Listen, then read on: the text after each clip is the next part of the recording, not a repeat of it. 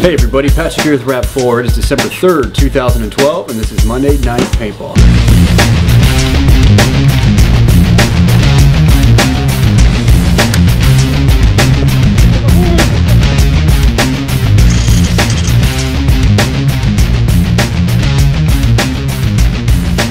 Alright guys, time for some paintball news and industry trends. For those of you in the state of Hawaii, there's going to be a pretty cool scenario going on in March. That's March 2nd and 3rd, 2013. It's a bit far out there, but it looks pretty cool. It's going to cost $50. Getting put on by Oahu Scenarios at uh, Hawaii Extreme Paintball Park in Kalaeloa. Now it's called Clash on Olympus, and it's going to have kind of a Greek theme of gods versus heroes very cool. For those of you who are planning on attending, be sure to take a bunch of pictures and videos and send them back to us so we can show everybody.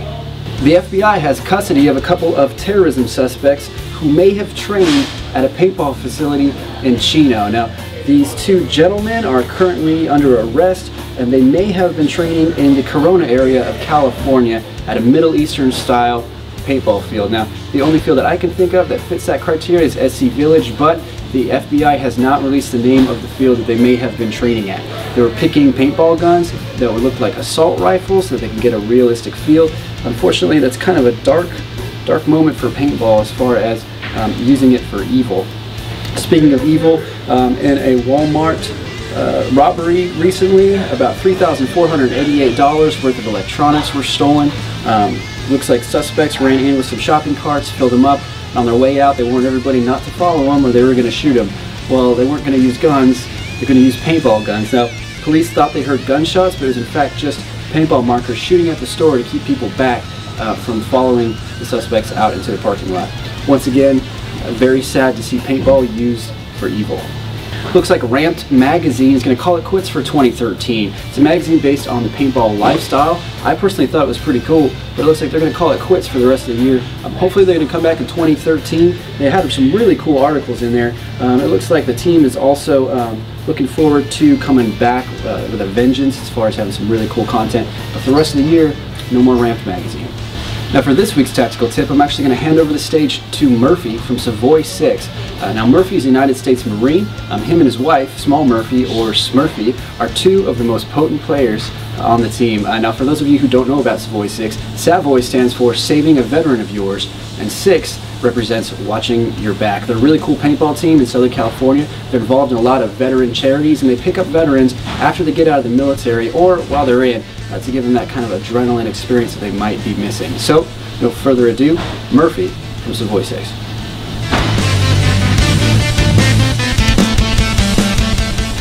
Hey, what's going on guys? This is Murph with Savoy 6 Scenario Paintball Team. A lot of people have been asking about the powder balls that RAP4 makes, so I figured we'd make a little video. We've been playing with them a little bit and uh, just want to show you my experiences with them and uh, pros and cons and just give a little bit more explanation of what the heck they are because a lot of people are like, what's going on? Because a lot of you guys saw that amphibious assault video where they're firing out of lakes and you're like, how are they not getting barrel breaks with paintballs? Well, a powder ball is a paraffin wax ball. It, that's what the shell's made out of. As you can see, it uh, looks like it's indented like a golf ball almost, but it's, it's completely smooth. It's completely smooth. It's going to fly a little bit further, a little bit straighter, and the filling is powder. So when you hit something, it's going to give a nice distinct puff of smoke. And, uh, you know, there's no way somebody's going to be able to wipe that and say, hey, you didn't hit me, because it's literally going to look like a bottle of baby powder just went off on. So that's kind of cool. One little hint though, if you do get some of these bad boys and you want to use them at a local field, get their permission first because uh, some management, some owners, they like them, some of them don't. Some of them don't know what the hell they are. So make sure you talk to them and uh, make sure you get permission because this is one of those things where it's it's going to be a lot worse if you ask for forgiveness rather than permission. So I'm going to fire a couple of them, show you what they do. Uh, they're pretty awesome. I like them a lot. So see that little puff of smoke there. See, and so you see that it gives off a whole bunch of smoke or a whole bunch of powder as it were. So um, it's going to get all over the place, but has a really pleasant smell to it. So uh, that's kind of cool because most times at the end of the day, paintball, you smell like a swamp monster coming out of there. So hey, at least you'll smell a little better at the end of the day. But um, enjoy them. Take care of them. Uh, you don't have to worry about the rain getting to them. You don't have to worry about them swelling from the heat or the cold, you know, contracting them. They're going to stay the same. They're going to keep on playing no matter what. And you don't have to worry about them bleeding. Where like a lot of uh, paintballs, a lot of people in Decayed Nations this year were complaining because uh, some of the paintballs were sweating and literally the paint was leaking out of the shell. You don't have to worry about that with these. So it's pretty awesome. Enjoy them. Flat RAP4 know uh, what you think about them. And uh, yeah, so thanks guys. And uh, there'll be some more videos to come. Appreciate it. Savoy 6 has their own Facebook page where you can go and you can ask any questions you want. They have 35 members who will be happy to answer any questions about paintball tactics or gear, or perhaps you want to know how the 468, the MKP2, or maybe even the DMAGs perform on the battlefield. Now, they're our flagship team, so we send them a lot of our products that are still in the prototype phase for them to test and give us feedback on so they would know. They've been playing with the 468 since Operation End War 3, and they're uh, definitely enjoying it, and they're uh, giving us a lot of really useful feedback from that. So check them out on Facebook. That's facebook.com slash Savoy6 Paintball. Be sure to like them on it as well and follow them because a lot of the images of our products being used in, on, in actual games actually hit their page first. So if you want a sneak peek, be sure to follow them on Facebook. Today I'm going to show you some new features that we have not discussed as far as the 468 when using DMAGs. Um, there's been a lot of questions as far as uh, how it operates. Are, is there going to be a DMAG for the 468? And just to clarify, there will be a DMAG for the 468. Uh, something I want to show you, basically with every MagFed system out there, um, it's, it's, it's, a limitation I suppose, but it's present in all systems that we've ever done, as well as most systems that we see that are out there. And this phenomenon is basically, when you insert a magazine, you basically have to shoot through all the rounds before you um, can remove the magazine even to check how many rounds you have left, to see if you have any rounds left in there. Because what would happen is you'll basically lose rounds when you take it out of here. So I'm gonna go ahead and show you basically through everything that we have here to show how this happens and also how we've avoided this with the 468. Alright, so first I'll start with the 468. This is the uh, 468 with the Noveske uh, handguard uh, set up with a stainless steel barrel. Um, again, this, this is basically what, it's kind of like a pre-production model, but it's very representative of what it will be when it's finally released. Um, these have been sent out to games, to certain people, and basically a lot of the questions that, or requests that were asked have been solved now. Um, but anyway, showing this, so this is a 468 with a traditional classic T68 magazine. We insert the magazine, and we're dropping two rounds. We insert it again, and we're dropping two rounds, basically just over and over. So you can't really check, or every time you do this, you're gonna be losing rounds, okay? This is the uh, 468. This also happens with a T68, as well as all of the mag kits uh, that have been that have been out. Tiberius T8, full magazine. Again, same thing. When you load a magazine inside and remove it, we're dropping two rounds. Start it again. Well, we have one in there, but there it goes load it again, dropping rounds. So again, basically every MagFed system has been dropping these uh, rounds that you, they're taking out of the magazine. So the Tiberius T4, a great gun, shoots uh, first strike. Uh, but again, this, this uh, phenomenon is present with the first strike rounds in paintball. Here I'm using some plastic rounds in the magazine, same as all these tests I've been conducting. Uh, but again, we're gonna load it in here, take it out, two rounds, two rounds. So it's basically one round that's in the chamber and then one's in the pre-chamber, let's call it. It's like uh, waiting to be chambered. So all these rounds are always coming out with uh, all these traditional magazine fed systems.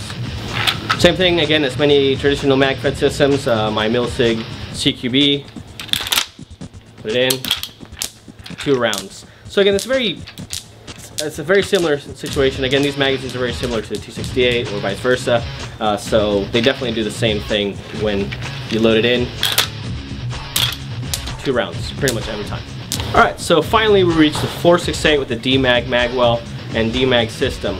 Again, uh, what we've seen with every other marker system that at least has been out or that even we've been working with or pretty much anything that we've seen. They all drop rounds when you do want to do a magazine check. You know, I mean, obviously some can say, well, why would you want to remove a magazine? But in firearms, if you're shooting, you're doing a tactical reload, who knows? Maybe you had a malfunction. Maybe you want to check to see if you have more rounds in your magazine. It's nice to be able to take it out, see that you have rounds, so you can identify what other problem you could be having. So, again, 468, 14 round D-Mag, fully loaded.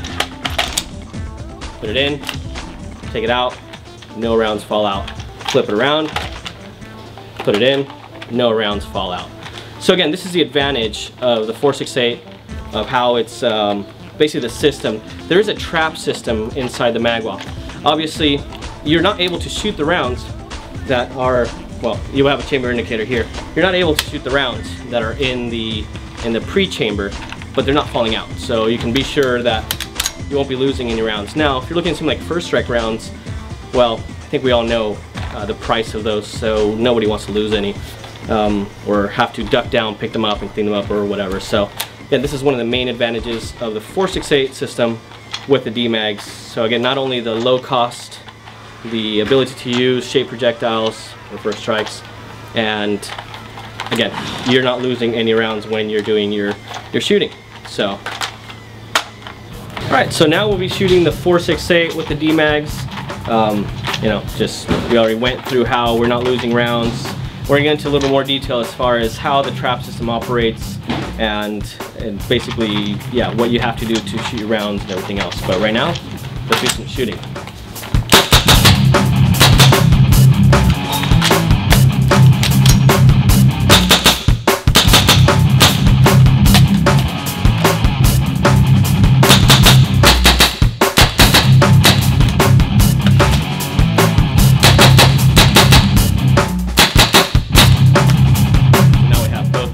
Emptied.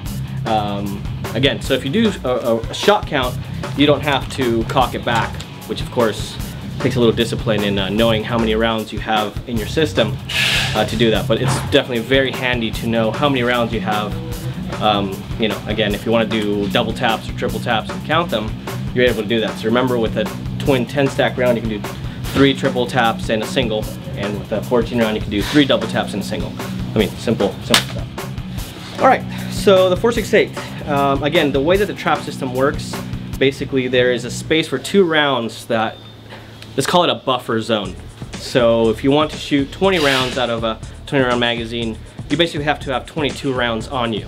Meaning that two rounds will be on inside the chamber and then the following rounds will be uh, in the magazine and so forth. So again, I mean, it's uh, a minor drawback as far as we see it to be able to consistently shoot rounds and not have any loss of projectiles and also uh, again just to to make it a more realistic system. So I mean imagine you're doing a military training situation and a bullet comes out. I mean a bullet comes out of your magazine. I think it'll look pretty awkward and definitely somebody would think that of not as a real training situation. So that's one of the main reasons we decided to go about it this way. DMAGs were really re designed for the mag kits. So by implementing it onto the 468 or to a previous system like the T68, we had to devise a way to allow the rounds to reach the chamber and not have to drop them. But that also really gives us a way to be able to use a DMAG system in pretty much any platform that's been made ever. So again, we'll definitely consider any markers that are out there to see if it's worthwhile to make a DMAG system for it. But I certainly think some do warrant uh, making that adapter or so forth to make it possible. Thank you very much.